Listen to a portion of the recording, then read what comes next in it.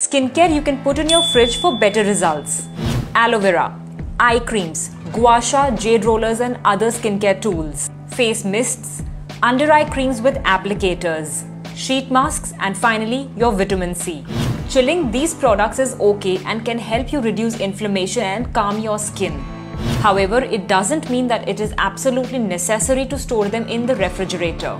If you put them in the fridge, remember to put it only in the door of the fridge and not in the freezer or the other compartments.